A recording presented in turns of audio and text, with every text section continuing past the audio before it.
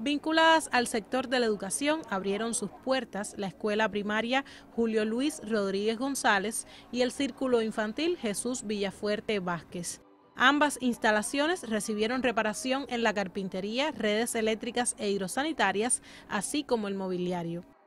Con estos cambios, las instituciones educativas mejoran no solo las cuestiones estructurales, sino también el ambiente en que los educandos recibirán las clases. thank you.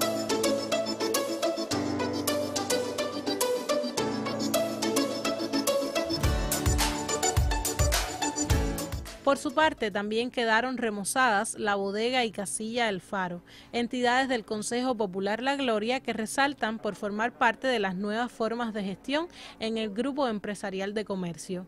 Las máximas autoridades de la provincia visitaron los lugares y constataron el confort que garantiza la calidad de las actividades que se desempeñan. De esta forma, Cienfuegos espera un 2022 con nuevas expectativas en varios sectores. Alien Armas Enríquez, Notisur.